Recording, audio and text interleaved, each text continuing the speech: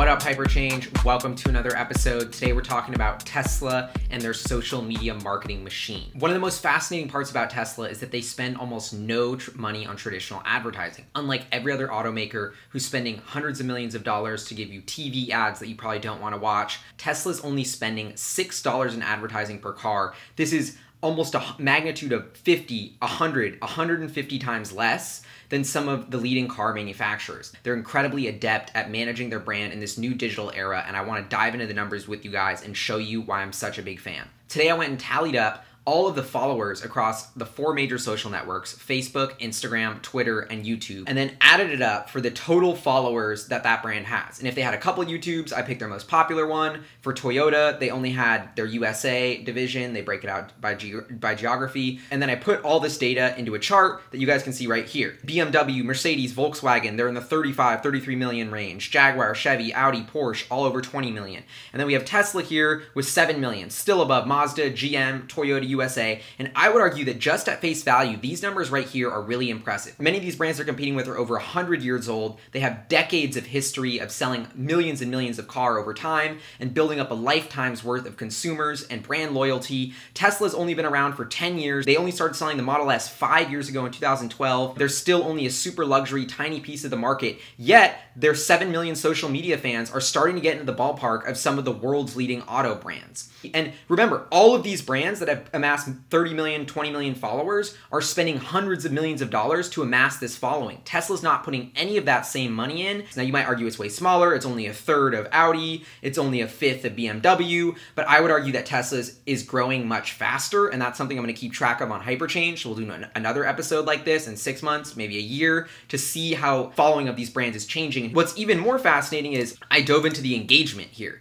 So if you'll take a look at Tesla's most recent Facebook post, nothing fancy here. New York gets an extensive new electric car charging program with 50 fast charging stations. They have 402 reactions, 43 shares, 19 comments. If we look at Ford's most recent post, which remember, Ford has 8 million Facebook fans, quadruple what Tesla has. They only got 450 reactions, 88 shares, a similar amount of reactions, a similar amount of shares, despite Ford having quadrupled the amount of fan base. Volkswagen has 31 million Facebook fans. But if you look at their last post, they only had 604 reactions, 82 shares, and 25 comments. So they almost had exactly the same engagement on their last post as Tesla, despite them having 31 million fans and Tesla having 2.5 million. So even though Tesla's audience on a aggregate is looking smaller, I'm arguing the engagement is much, much higher. And the reason behind this is not only because people like the Tesla brand more and want to engage with it, but because most of the following that most of these other brands would build is probably bought. You know, if you're going off engagement, which many people would say is even more important than aggregate followers, Tesla's in line with these leading brands. So I think this is a great sign. If we take a look at Mercedes, they have over 20 million Facebook fans almost 8 or 9x what Tesla has. On their last most recent post, we only saw 443 reactions, 4 shares, and 3 comments. So Mercedes, a brand with 8 to 9 times the Facebook likes of Tesla, actually has less engagement on their most recent post. And this isn't something that's just happening on Facebook. If you look at Instagram, Tesla's last 3 posts that weren't a video, 55,000 or 56,000 likes.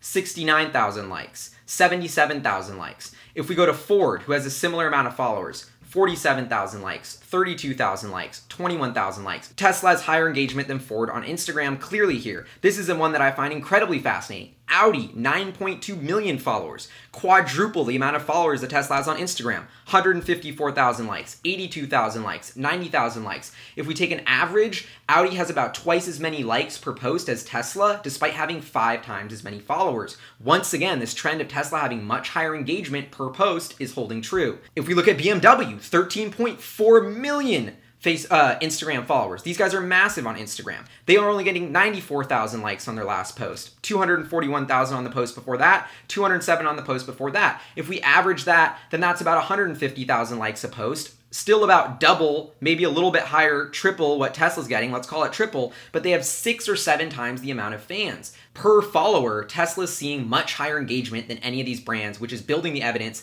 that none of these brands actually earned their full social media following. Much of it was purchased. Going to Twitter. If you look at the first post on the Tesla Twitter page, that's theirs, that's not a retweet. They had it, it was about Model X reviewed by a nine year old, retweeted 500 times, 3,000 likes. If we go to the most recent post, from Mercedes, we're bringing out limited edition miniature version of the G50, 29 retweets, only 96 likes. Way less engagement, despite having almost the exact same amount of followers, 2 million. If we go to one that's a couple days old, so maybe giving them more time, we still only see 118 retweets and 700 likes. We go back to the same most recent post for Tesla, 500 retweets, and 3,000 likes. One last comparison Audi, we go to them on Twitter. Their most recent post that was for them 125 retweets, 766 likes. They have 1.8 million followers. So the exact same amount of followers at Tesla. They only see a quarter of the retweets and about a quarter of the likes on their most recent tweet. The engagement on Tesla on the posts that I'm seeing across every single social network is double or triple or quadruple when you adjust for followers. Going back to this main chart, Tesla's social media following is much smaller. Their engagement is just as high as BMW, Mercedes, Volkswagen, or any of these brands that have quadrupled the followers. And this is a following that Tesla built with a brand that's way newer, with no